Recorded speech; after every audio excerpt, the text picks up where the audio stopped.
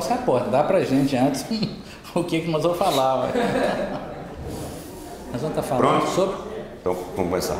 Ô, Márcio, é, esse trabalho é um trabalho da história da FUMEC mesmo, igual você falou, e eu tenho, de vez em quando, chamo de túnel do tempo, a história da FUMEC.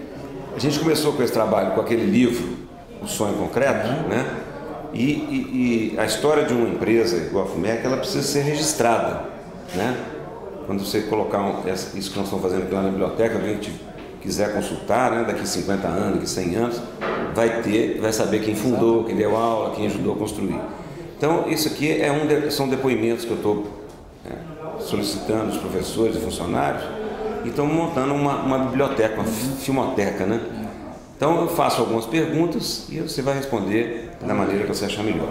Então, a gente começa perguntando o seguinte, no seu, no seu caso é um pouco diferente dos outros, porque o seu você começou como aluno. Comecei né? como aluno aqui. Então, você pode falar já assim, por que você escolheu o FUMEC, como foi essa escolha como aluno, né? Uhum. E você veio de que forma e ingressou quando no FUMEC.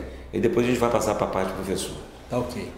Olha, eu, eu, eu quando eu é, terminei o meu ensino médio, né, na época era científico, uhum.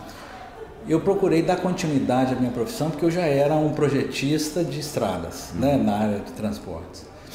Bom, e eu procurei então a, a, engenharia civil, uhum. mas eu queria um curso que fosse um curso que eu pudesse frequentar à noite, né?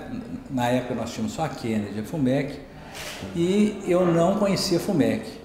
Quando num cursinho de vestibular alguém me falou que existia, que a FUMEC abria um vestibular para a turma noturna, que só tinha diurna. Eu fui da primeira turma noturna, que foi em 1986. Uhum. E eu fiquei interessado, eu não conheço o FUMEC, onde que é, e fui procurar saber.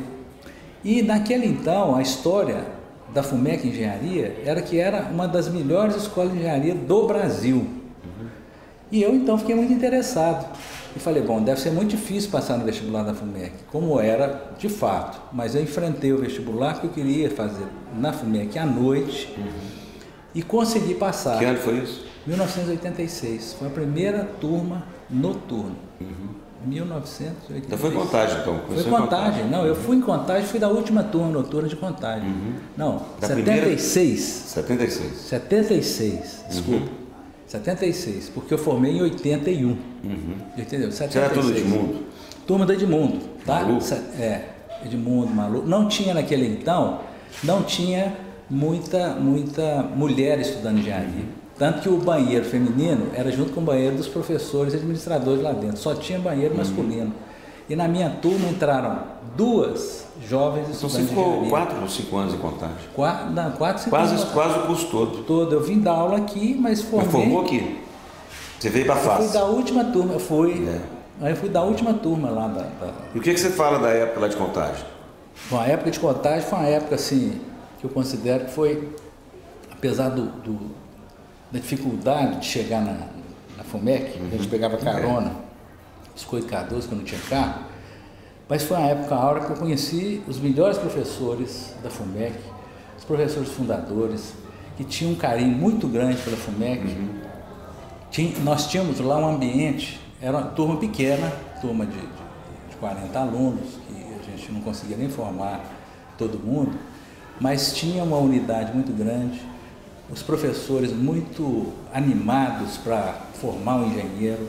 Era uma escola de exigências muito grandes, tanto que eu tive que fazer um esforço muito grande para conseguir formar no curso de engenharia é, civil na FUMEC. Então, Você fez o curso em cinco anos? Eu fiz o curso, eu entrei com a possibilidade de fazer em cinco anos. Uhum. A turma noturna, eu lembro, que a gente tinha aula até 11 horas da noite que a gente tinha cinco aulas à noite, né? Uhum. E como eu morava aqui na Serra, o professor Rubão Rubens Braga, um grande uhum. né, diretor nosso, foi uma pessoa que me ajudou muito, maravilhoso, ele me dava sempre carona. E às vezes ele já saía da sala com o carro cheio e eu tinha que dormir na FUMEC, porque não tinha onde para chegar. E minha mãe ficava louca, porque eu não tinha telefone celular. Uhum. Então já passei muitas noites, inclusive na biblioteca da FUMEC. Uhum.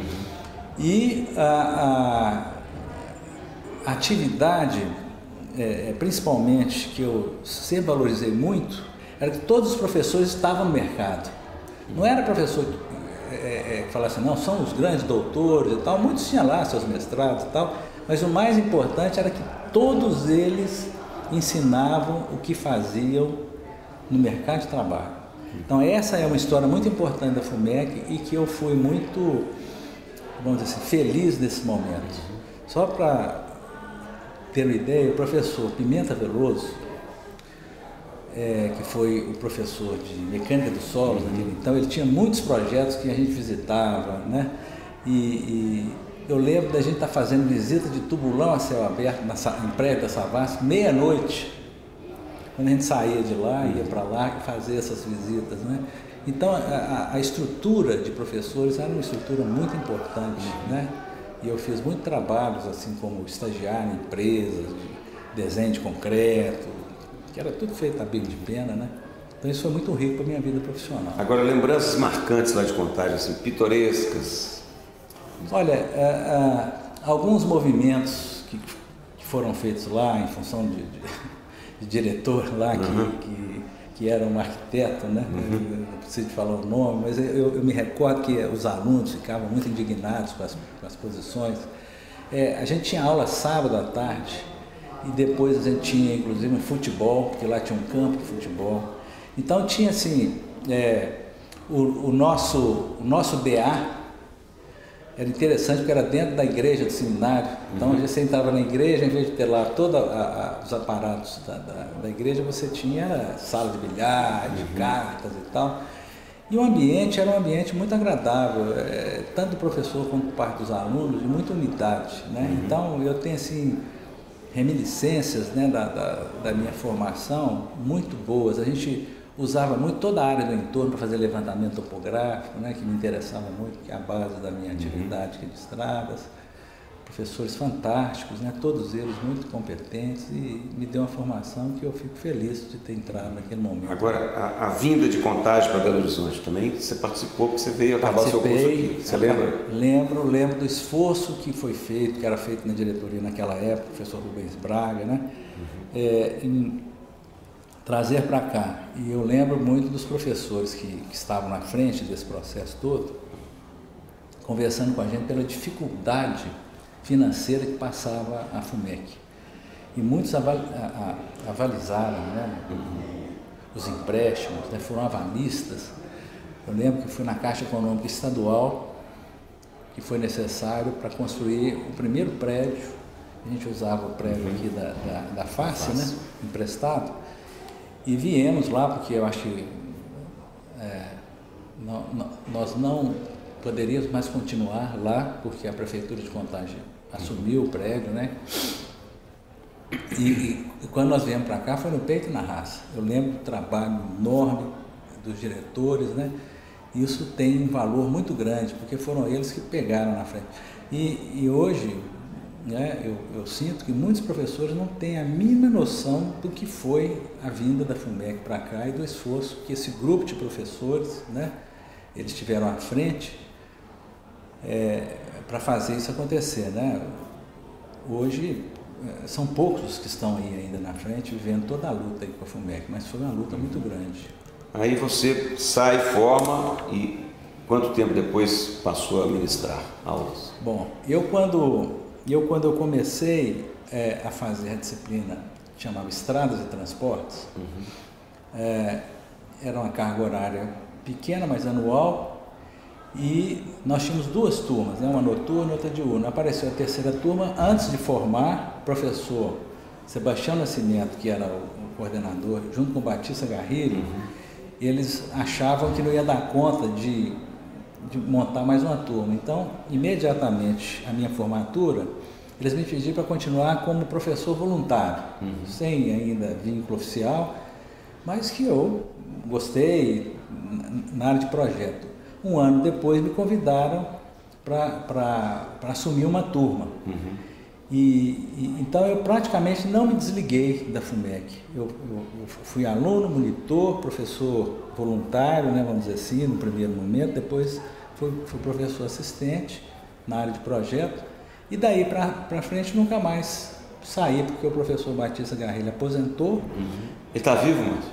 Ele está vivo. O professor tá Batista Garrilha está vivo. Uhum mas não, também não dá mais aula, dava aula no Cefet, era um engenheiro né, do DR, também já aposentou, já está.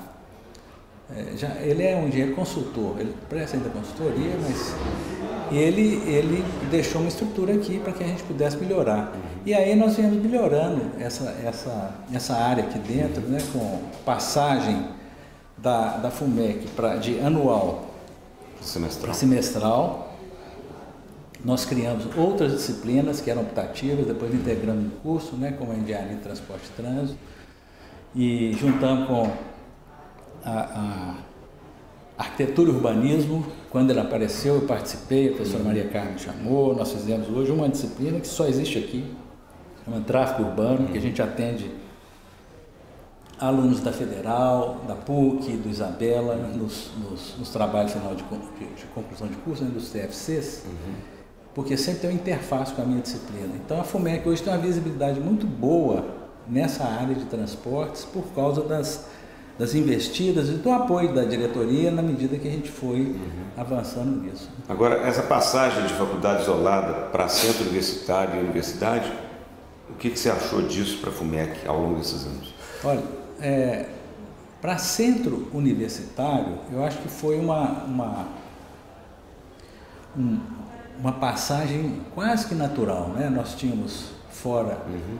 é, é, as unidades das ciências humanas, das ciências econômicas e tal, e foram se rearranjando aqui nesse, nesse espaço uhum. até que a gente formatou o centro universitário, que eu acho que continuou com as autonomias, com tudo que, que eu acho que é necessário para a gente crescer e ter a responsabilidade individual. Eu sinto que a passagem para a universidade foi uma passagem assim, sem muita discussão. Passou-se, mas eu senti que a partir daí algumas dificuldades a gente começou a ter, por quê?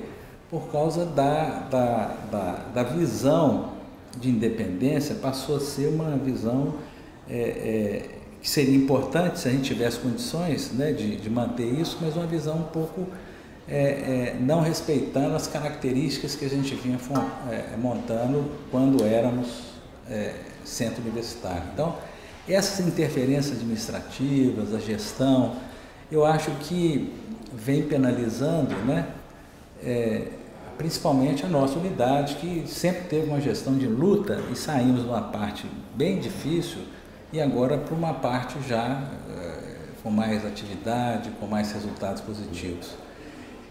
Eu acho que a gente tem que rever isso, né? mas é, é, até o centro universitário eu acho que a consistência foi muito boa. A partir daí nós temos alguns problemas, temos que rever para ver se a gente toma rumos mais consistentes, senão a gente não consegue levar à frente esse Em termos de, de, de cursos da FUMEC, hoje a gente tem muito mais cursos que a gente tinha. A gente tinha um, dois, depois aumentamos muito.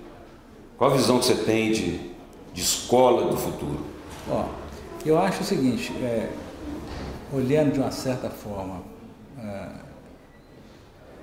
o mundo universitário em outros países e tal, com bastante tradição nisso, é, eu acho que sempre deve existir aquela, é, aquela âncora nas universidades. Por exemplo, nas engenharias são as engenharias civil, eu acho que é a mais importante, mecânica, engenharia elétrica, são as âncoras de todos os demais cursos que vão sair da elétrica, da mecânica, da civil, né, como é o caso da produção e outros mais. Mas esses três pilares têm que ser bastante fortes para absorver os outros cursos, porque senão é, é, não existe é, é apoio. Né? Nós estamos vendo assim, toda vez que você lança um curso que não tem uma âncora vinculada, isso, isso gera problema. Uhum. É o que nós estamos vivendo com alguns aí, né?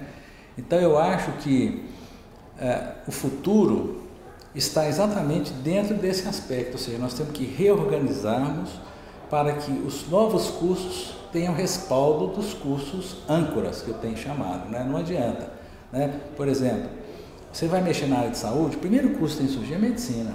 E medicina vai ser âncora para enfermagem, para tudo demais, vai segurar tudo que acontecer. Né? O mercado está para isso. Por exemplo, engenharia civil. Engenharia civil e engenharia mecânica são as engenharias que mais necessitam aí no Brasil, exemplo, as plataformas, mineração, toda a parte de obra de terra. Tudo isso, as ferrovias, as estradas, estão vinculadas à civil, que é, vamos dizer assim, a, a base, e depois tem a mecânica que vem ajudar, né? plataforma, etc. A engenharia elétrica a mesma coisa, todos os cursos de, é, mais finos, né? de robótica, é, os demais cursos são derivações dos cursos âncora. Então a FUMEC agora já pôs a engenharia é, é, elétrica, ela vai agora avançar nisso e vai ajudar muito os outros cursos que ainda não, que estão perdendo né, a atividade, tem que agora completar né, com a mecânica, está fazendo com a química também, mas a engenharia mecânica é outra âncora importante para dar sustentabilidade às engenharias de uma forma geral. Mas a universidade não vive só de curso, ela tem algumas outras áreas que são importantes também, mas Sim. que demanda recurso. Exato. O que, que você acha que a FUMEC tem que fazer para não ficar só na dependência do aluno custear esses trabalhos? É, eu acho que, como nós já algumas vezes a gente consegue fazer aqui, buscar as parcerias com a iniciativa privada. Uhum. Com as empresas, as grandes empresas, aqui mesmo a gente tem já procurado fazer esse trabalho aqui na FEA, tem muitas empresas na área de construção civil, na área da construção pesada. É, eu vejo também na, na nas outras atividades nós temos aqui de moda, né? a gente está sempre vendo que existe um, um, um, trabalho muito grande de professores né? para fazer parcerias, para trazer recursos aqui para dentro. Os convênios com o governo do Estado são muito importantes. Então, existe uma série de atividades que a, que a, a universidade pode fazer para buscar lá fora, como existe no mundo inteiro, outros recursos, porque em nenhum lugar do mundo só mensalidade consegue bancar todos os investimentos que a gente precisa. Uhum. Uma outra área também que a FUMEC está tentando entrar e queria ver sua opinião é o ensino à distância. Bom, o ensino à distância é, é uma área que está aí no mundo é, sendo divulgado. Eu acho que a gente precisa de mais é, vamos dizer assim, de mais profissionais capacitados para levar isso à frente. Uhum. E eu, eu sinto uma certa dificuldade com cursos isolados. Uhum. Com as disciplinas internas, eu tenho observado que existe uma tendência, é, e até o MEC permite um uhum. percentual dessas, mas a gente precisa tomar muito cuidado com a seleção dessas disciplinas. Então, eu, como estudante, eu lembro, eu tinha uma dificuldade muito grande na área de cálculo. E eram assim necessidades que eu tinha que assistir aulas, outras aulas presenciais, monitores, etc, etc. E eu acho que algumas disciplinas é, não vão dar certo, não vão ajudar o aluno a ter uma formação melhor se for dessa forma à distância. Eu sei que tem outras escolas tentando isso e eu tenho conversado com os alunos, eles não também não estão conseguindo é, acompanhar com consistência, vamos dizer assim, com a formação melhor isso. Eu acho que, a gente precisa estudar mais esse assunto. Uhum. Eu sei que aqui na FEA a gente está experimentando algumas disciplinas, eu não sei o nível de retorno disso, eu não, eu não, eu não conheço é, vamos dizer, com detalhes os resultados. Me parece que é o primeiro semestre né, que uhum. está acontecendo. É. Eu, eu me recordo de um, de um congresso que que eu participei, se dividiram em várias em vários momentos, né, as discussões, e teve um professor aí, muito né, gestor de universidade particular e tal, que manifestou que a gente se tomar muito cuidado, que tudo estava agora na internet, que a gente precisava de pouca aula de, é, presencial, porque os alunos estavam muito bem, tarará, veio falando esse discurso, e eu lembro da intervenção que falei, professor, só vai me desculpar, mas a minha área está tudo na internet há 10 anos atrás, o DENIT postou as especificações, tudo isso, e nós lá na FUMEC recebemos todo ano pedido das empresas para dar aula sobre as especificações do DENIT que ninguém consegue absorver. Então, assim, não adianta, tem áreas da engenharia que o presencial é fundamental, porque o professor tem que estar junto com a sua experiência profissional, não som, somente de, de titulação, uhum. mas aquele que dimensiona uma ponte, que, que, projeta uma estrada, que projeta um edifício, uma fundação. Quer dizer, esse, esse professor, ele tem, além de todo conhecimento teórico, ele tem experiência. Então a gente tem que estudar, né? É, é, é, experimentar o que a gente estuda, mas também estudar o que se experimenta. Em quantas obras que eu já participei de projeto de fiscalização, que eu mudei algumas coisas e trago para dentro de sala de aula e falo, oh, gente, olha, aqui nós temos que fazer a seguinte observação em função da minha experiência, o que deu certo e o que não deu certo. E eu acho que pela internet, sem, sem muita uhum. é, atividade presencial, a gente não consegue transmitir. O aluno vai receber a informação e não vai fazer o uso que ele tem que fazer na vida profissional. Você está aí, a FUMEC está aí completando 50 anos, você vai completar daqui a pouco 40 de FUMEC entre aluno e professor. Exatamente. Qual a sua visão de futuro para a FUMEC como uma universidade? Olha, eu acho que a FUMEC ela tem que resgatar muita coisa, principalmente resgatar a sua capacidade é, econômica de equilibrar, porque eu tenho acompanhado, tenho visto as dificuldades da FUMEC como universidade e eu acho que se a gente não tomar decisões muito importantes nesse momento, a gente não consegue ir para frente. Então eu acho que o corpo de dirigentes hoje, né, da Universidade FOMEC tem que ter muita sabedoria e muita conciliação e muita unidade para não deixar que a FUMEC futuramente deixe de existir como universidade. Como universidade, como faculdade, etc. Eu acho que a força da universidade ela, ela está nas faculdades. Então, ser centro universitário forte, eu acho que, que, que é uma saída importante que a FUMEC deve começar a, tra a trabalhar nesse momento, porque a universidade, além de gerar muita despesa, nós não temos um número de alunos suficiente, nós estamos perdendo aluno, e eu acho que o futuro é voltar a ser centro universitário. Eu acho, essa é a minha posição.